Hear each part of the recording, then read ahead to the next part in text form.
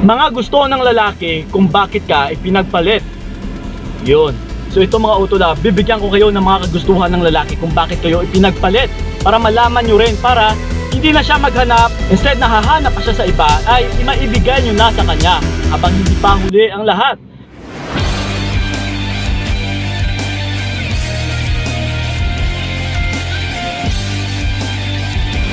Yun, what's up?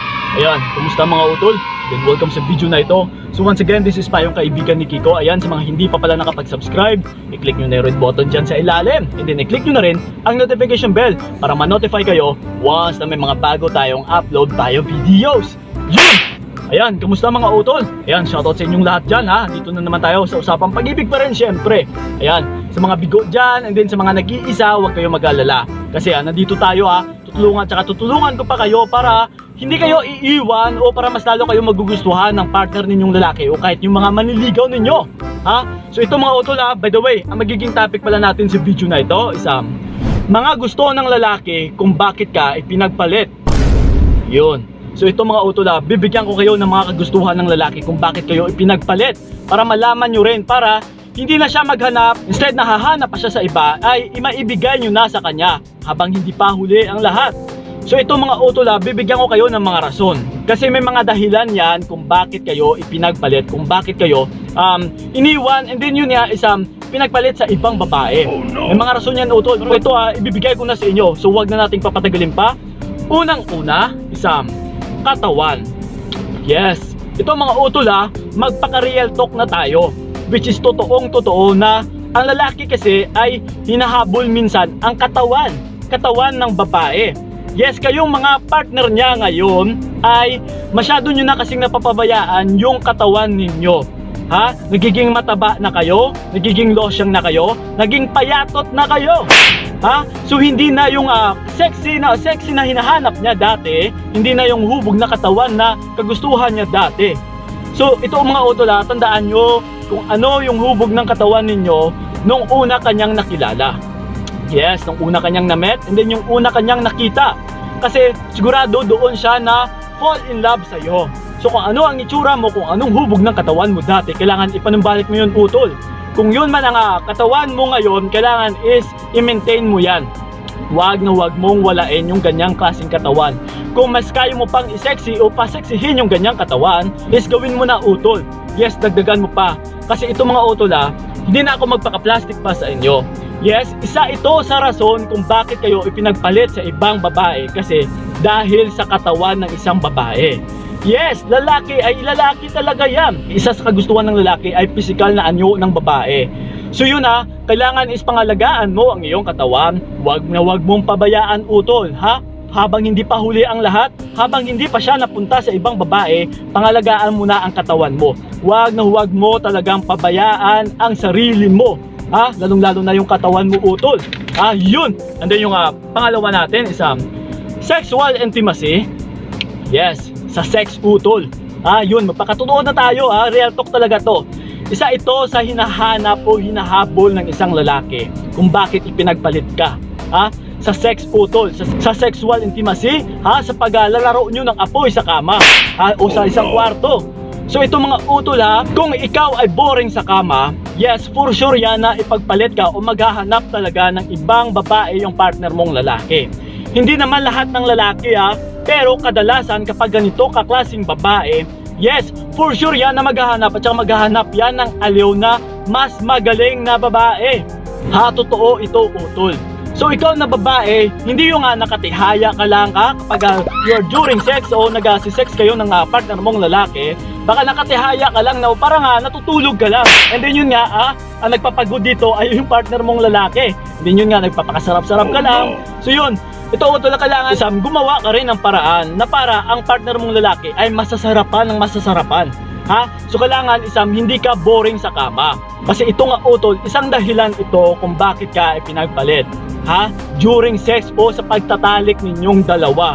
Isa ito sa hinahanap-hanap ng partner ninyong lalaki na para magkaroon ng satisfaction ang bawat isa. So once na hindi na masasatisfied yung partner mong lalaki, isa ito talaga sa rason utol na maghahanap at saka maghahanap yan ng babae na mas sexy pa sa'yo and then na mas magaling pa sa'yo. So ikaw na partner niyang babae habang hawak-hawak mo pa yung partner mo ngayon, kailangan is galingan mo utol. Yes, magpagod ka rin. Kailangan mo rin kumayod, ha? Hindi yung partner mo lang na lalaki ang gumagalaw, kailangan is gumalaw ka rin. Kailangan isa, yun nga, bigyan mo siya ng satisfaction para ma-satisfied niya rin na kasama ka sa kama utol. Para kapag mayroong satisfaction, yes, may happiness. Ha? Para pagkatapos yung magpapawis ay magkakaroon ng ngiti sa kanyang mga mata at saka sa kanyang mga bibig. Ha? Yun. So isa yun utol sa um, dahilan talaga kung bakit naghahanap pa ng iba yung partner ninyong lalaki. Ha? So yun. Andiyan yung uh, pangatlo natin, isa pananamit. Yes, isa din ito sa dahilan utol na, na mas lalong uh, maghanap yung partner mong lalaki kung ikaw mismo ay hindi ka na marunong manamit. Ha, yung pananamit mo is parang boring. Ha, na parang Maria Clara pa, yung mga panahunan pa ng lola ninyo. So wag ganun utol. Kailangan isa magpakababae ka.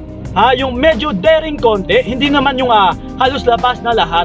Kailangan isa mag-short ka rin ng maiksi na may kaseksihan din konti. Kasi ito mga utol sa ngayon ha, sa panahon ngayon, marami kang kakompetensya. Ha? So, wag mong sabihin na kung ano ka, kung ano kang way manamit is ganun ka na talaga. So kapag ganun ka, utol, yes, magsasawa at saka magsasawa talaga yung partner mong lalaki. Yun nga kakasabi ko o sinasabi ko dati na kailangan is magkakaroon ka ng mysterious na gawain. Which is kailangan isa magiging mysterious girl ka. Ha? Kailangan mo utol, isa pa iba-iba. So yun nga, kung dating boring ka, kailangan baguhin mo yan ngayon. Na makikita ng partner mo na pagbukas ng pintuan, uy, grabe, ang sexy niya ngayon ha. Kakaiba to, kakapanibago sa paningin ko. Yes, yung tipong ganun na parang aga ganun talaga yung partner mong lalaki. So yun nga utol ha, kailangan isa magkaroon ka ng uh, panibago sa iyong pananamit na medyo elegante din tignan, na kaya kanyang ipagyabang sa kahit kani-kanino man. Ha, yun nga utol, kailangan isang magayos ka ng pananamit. Ha, mag-search ka dyan sa Google, yun nga, marami naman dyan ha, mga modern na pananamit na mas lalong elegante at saka kaya-aya sa paningin ng mga kalalakihan na mas lalong nga maaakit talaga yung partner mong lalaki. Once kasi na maakit yung ibang lalaki, mas lalong maaakit yung partner mong lalaki utol. Ha? Sigurado yan. So yun, wag na wag mong pabayaan o wag mong ibaliwala yung pananamit. Ha, kung dawi ka manamit, kung naka-t-shirt ka lang, naka-short ka lang na mahaba, naku po. Ha, na parang uh, pananamit mo ay parang panglalaki, mas lalo ka talagang iiwan at saka ipagpalit sa ibang babae. Ha, marami kang kompetensya ngayon utol. So ngalangan, isang lumaban ka rin and then yun nga, makipag-compete ka rin. Huwag kang magpatalo utol ha. So yun, pero sa pamamaraan na kung ano talaga ang estilo mo. Ha? So yun, para maiba rin and then para kung hindi kaya isa, para mas unique rin sa lahat. Ha? So yun mo tol ha, kailangan talaga is marunong kang manamit and then yun nga, na maayos kang manamit ha. Isa yan sa pinaka-importante talaga o isa yan sa rason o na kung bakit pa naghahanap ng iba yung partner ninyong mga lalaki. Ha? So yun, and then yung uh, pangapat natin, isa, pagpaganda. Yes, isa rin ito ha. Maliban sa katawan, maliban sa pananamit, kailangan isang ayusin mo rin ang iyong muka. Ha? Hindi naman sa sinasabi natin nga pagpapaganda ay sa mukha lang, kundi sa buong physical mo na anyo, hindi sa palabas mo na anyo, ha, the way ka manamit, the way ka mag-makeup, ha, the way ka umayo sa iyong pagmumuka, sa iyong uh, buhok, ha, kung ano-ano pa dyan, na para mas lalo kang kaya-aya talaga sa paningin ng ibang lalaki, tsaka sa partner mong lalaki. So yun nga, Otula, huwag na huwag mong pabayaan na pumapangit ng pumapangit ka na lang. Ha? Hindi yung uh, nakumpiyansa ka dahil nandyan yung partner mo, nandyan ang palagi. So wag ganun utol. Kailangan isa magpaganda ka rin. And para sabay sa uso ka rin utol ha. Hindi yung nahuhuli at saka nahuhuli ka na. O kaya parang natatambakan tsaka natatambakan ka na ng lupa. So wag ganun. Kailangan utol is mabay ka talaga sa agos ng buhay ngayon. Ha? Para mas lalo kang magugustuhan tsaka maaakit tsaka maaakit mo pa yung partner mong lalaki. So yun, isa yun sa pinaka-importante talaga utol na napatuloy kang magpapaganda tsaka magpapaganda Huwag mong ihinto yan utol ha. Pero yun nga, kabilin-bilin ko dati na huwag mag-make up ng sobra-sobra. Kailangan sakto lang. Na parang kaya-aya na medyo namumula yung mga pisngi. And then yun nga, um, yung lips ay uh, medyo kissable na parang uh, medyo namumula-mula rin konti. Ha? Yung tipong ganun utol, basta sa akin ganun. Ha? So, bala na kayo. Kilalang kilala nyo naman siguro kung ano ang mga kagustuhan ng partner ninyong lalaki. Kung ano yung mga tipong itsura ng partner ninyong lalaki. Kung ano klaseng babae ang kagustuhan talaga nila. Ha? So yun. And then yung uh, panglima natin is um, proper hygiene.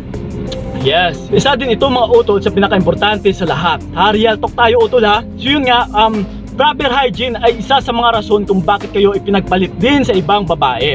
Ha? So kayong mga babae dyan na partner niya ngayon, huwag kayong mag-asa lalaki.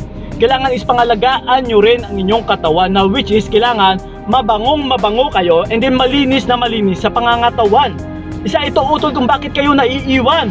Yes, lalo lalo na yung mga mababahong kilikili dyan, maiitim na kilikili. Kung, kung ano-ano pa dyan, ha? Lalo lalo na sa baba ninyo. Kailangan is mabango at saka yun nga, malinis tignan. Para ang lalaki o yung partner ninyong lalaki ay hindi na maghahanap pa sa iba. Yes, sa talaga ito utol sa rason kung bakit kayo naiiwan na which is hindi nyo alam ang dahilan. Pero isa talaga ito sa dahilan na hindi lang na isasabi ng partner ninyong lalaki. Alangan naman na sasabihin ng partner ninyong lalaki na, Uy, babe, ang baho mo, ha? Kaya nga parang ayaw ko nang tumabi sa'yo. Oh, no. Diba? Mas lalo kang madidisappoint. Kasi karamihan din naman ng mga lalaki is ayaw naming madismaya din yung mga kababaihan. Ha? So mas minamainam pa namin na manahimik na lang. So yun, so yun ha, kung napapansin ninyo na parang uh, bigla na lang nawawala yung partner ninyong lalaki, na walang kadahi-dahilan, na hindi nyo alam o walang ka-explain explanation. So yun utol ha, um, kailangan kayo na mismo ang magpuna. Ha? Alamin nyo, tanong nyo sa sarili nyo, ano bang pagkakamali ko? Ha? Mabaho ba ako? Ayan, may amoy ba ako? Hindi ba ako malinis tignan? Yes, kailangan mong itanong yan sa sarili mo utol. Kasi isa talaga yan o baka isa yan sa rason kung bakit naghanap pa siya ng iba. Ha? So yun, auto na proper hygiene. Kailangan mabango ka bago matulog. Yes, uh, maghilamos uh, ka o di kaya isa mag half bath ka. Ha? Para habang ka maging katabi mo ang partner mong lalaki ay mas lalo siyang uh, maaakit. And then yun nga, is magkakaroon siya ng gana talaga sa'yo na yakapin ka at saka amuy-amuyin ka. Ha? Yun, uh, isa talaga yan sa pinaka-importante utol ha. Huwag nyo uh, idaan sa biro kasi isa ito talaga sa rason ha, na hindi nyo lang alam. So yun, and then yung uh, panghuli natin is um, ito sa pinaka-importante sa lahat ay ang ugali. Yes, kung kanina yung mga nakapapansin ninyo sa mga sinasabi ko ay panlabas na anyo, ito ngayon ay ang ugali naman utol. Which is yung panloob mo na anyo. Ha, kung anong kaklaseng babae. Isa ito sa mga dahilan din kung bakit kayo naiiwan, kung bakit kayo hinihiwalayan ng partner ninyong lalaki. Ha? Oo, sasabihin natin na maganda ka, sexy ka. And then yun nga, mabango ka. Lahat-lahat is nasa sayo na. Pero isa pa rin ito sa dahilan na iiwan ka pa rin talaga ng lalaki kapag ang ugali mo ay napakapangit utol, napakasama ng ugali mo. Ha? Which is isa na dyan is sinungaling, tamad, ayan, kung ano pa, hindi ka open, maraming tinatago. And then yun nga, isang palamunin. Ha? Walang ka goal-goal sa buhay, o walang ka pangapangarap. And then yun nga, isang parang lagi na lang nakasandal sa mga kalalakihan which is kapit sa patalim. So ayaw namin mga kalalakihan na ganun utol. So ikaw na babae, kailangan ayusin mo ang ugali mo. Ha? Kahit sasabihin pa natin na meron ka talaga sa lahat-lahat ng mga pinagsasabi ko, pero kapag dating sa ugali is sumablay ka, wala rin utol. Bagsak rin ang dating mo. Iiwan at saka iiwan o ipagpalit ka pa rin ng ibang lalaki sa ibang babae. Ha? So yun utol, kailangan isayusin mo ang ugali mo.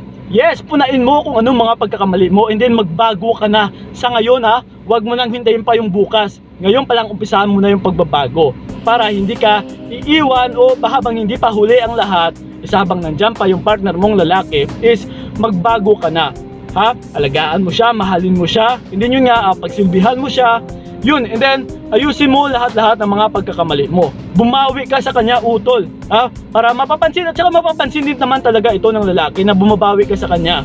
So yun nga, pero wag ka plastika na kailangan deep inside at saka isa puso mo yung uh, pagbabawi sa kanya na pagmamahal hindi yun nga na ikaw mismo is nakokonsensya ka na sa mga pinagagawa mo na parang humihingi ka na ng sorry din sa kanya so yun utol ha kailangan isang ipagpatuloy mo yung pag self improve mo And then yun nga, sa lahat ng mga pinagsasabi ko, gawin mo lang lahat. Ha? For sure yan na mas lalo kang mamahalin at saka mamahalin ng partner mong lalaki. At saka hindi ka talaga iiwan. So yun na mga utol, sanay nakatulong talaga yung video na ito. Ayan, maraming maraming salamat ha. So yun, alam nyo na kung ano ang mga rason at saka mga gawain o gustong gusto ng lalaki sa isang babae kapag kayo iniwan. May mga dahilan yan utol. So yun nga, naisabi na natin. So bago ang lahat mapunta sa ibang babae, kailangan isa gawin nyo na para sa inyo pa lang is makikita at pagkikita na ng partner ninyong lalaki, yung pagbabago, ha? So yun lang mga utol, sana nakatulong talaga yung video na ito. Ayan, maraming maraming salamat, so ingat kayo, God bless and babush!